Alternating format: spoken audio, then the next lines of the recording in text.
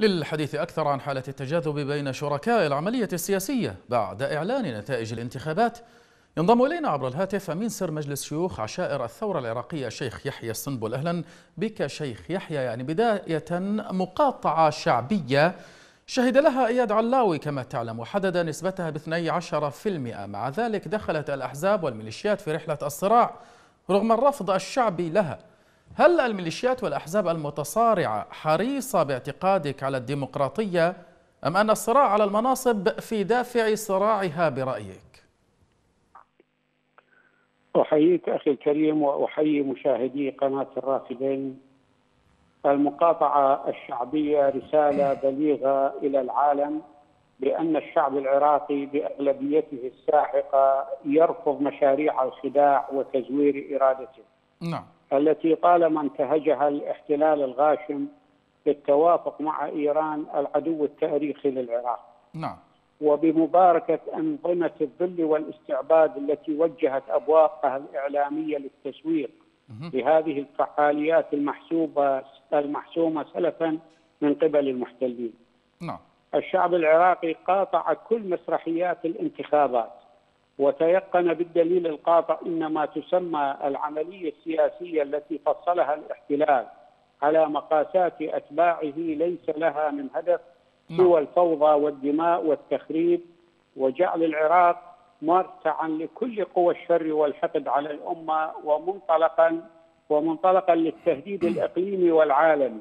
نعم. والتنافس الدائر الآن بين دكاكين الأحزاب الفاسدة والميليشياوية أبعد ما يكون عن ما تسمى الديمقراطية نعم. إنما هو تنافس على النهب والفساد كل يبحث عن أموال لتغذي ذراعه الميليشياوي المسلح ولزيادة سطوته على مخدرات العراق وثرواته. نعم.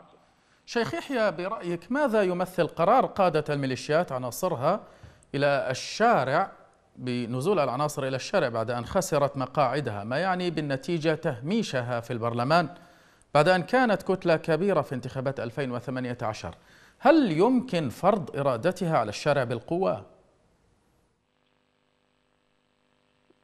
قلنا أن الصراع الدائر بين هذه الدكاكين الميليشياوية التي اعتمدها المحتل الأمريكي والإيراني هي من أجل الأموال والمناصب نعم. استمرار مشروعه المدمر للعراق والنزول إلى الشارع بحجة خسارة المقاعد في مجلس النهب الذي أقره الاحتلال إنما الخشية من فقدان هذه الموارد الذي اعتادوا على نهبها وتقاسمها.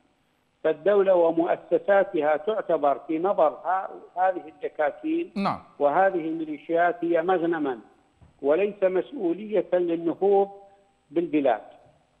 نعم.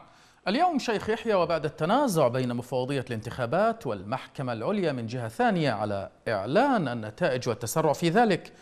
السؤال هنا إلى أي مدى ترى أن الأمور يمكن أن تذهب باتجاه التصعيد؟